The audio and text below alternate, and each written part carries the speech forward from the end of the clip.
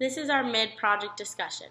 Langston Hughes' writing, despite their later success, were harshly criticized, especially by the black community, since some people believe they portrayed an unattractive view of black life. However, I believe this to be one of the most important aspects of his poems his loyalty to write about what he saw as reality. However, his poetry has become so well known, and part of his success in writing is due to his courage and being proud of his blackness. He embraced the culture and the society of black people in a time where it was not easy to do. His poems were very much impacted by his real life experiences, especially his exposure exposure to the world through traveling. He lived in six different American cities before his first book was even published into Africa, Paris, Holland, Italy, Mexico, and the Canary Islands.